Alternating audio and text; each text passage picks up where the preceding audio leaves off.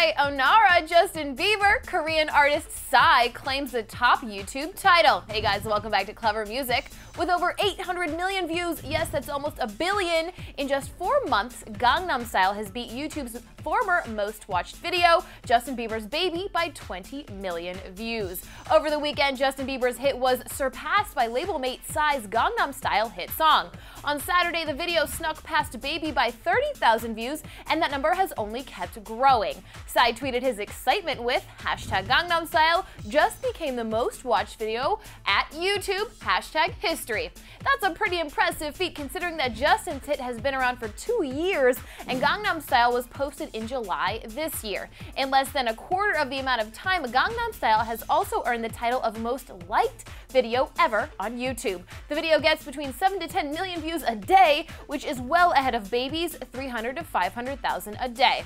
So is Justin feeling the heat? While he hasn't spoken out about it yet, I don't think he's feeling too bad about the defeat since he and Psy are pals and he helped him break out overseas.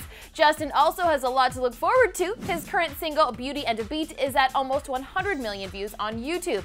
And if it makes him feel any better, he's creaming Psy in the Twitter department. He overshadows the Korean pop star by 29 million followers.